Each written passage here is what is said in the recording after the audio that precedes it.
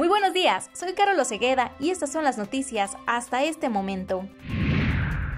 De negligentes y corruptos son acusados los titulares de las fiscalías regionales de Cuautla y Yautepec, toda vez que han sido omisos en la denuncia de la desaparición de una persona.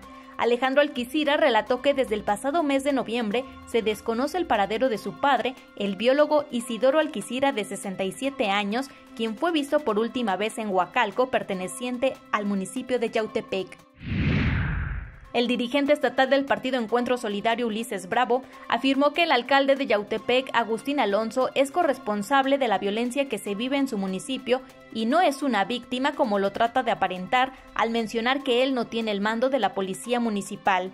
Aseguró que precisamente Agustín Alonso debe saber los puntos de Yautepec en donde se ha incrementado la venta de drogas y donde hay más incidencia delictiva para poder denunciarlo a la Comisión Estatal de Seguridad y atacar el mal que está afectando a los ciudadanos mediante el mando coordinado.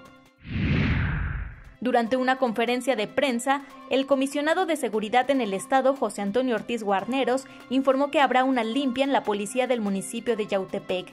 Esto se da luego de la desaparición de dos hombres vistos por última vez en límites de Yautepec el pasado 16 de enero, en los cuales estarían involucrados al menos cuatro policías por este caso. Síguenos en nuestras redes sociales y en el sitio web www.24morelos.com.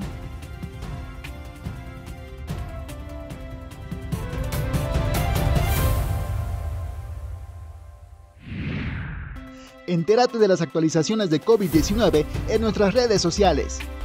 Facebook 24 Morelos. Twitter arroba 24-Morelos. Instagram arroba 24-Morelos. YouTube 24 Morelos. Y nuestro sitio web www.24morelos.com.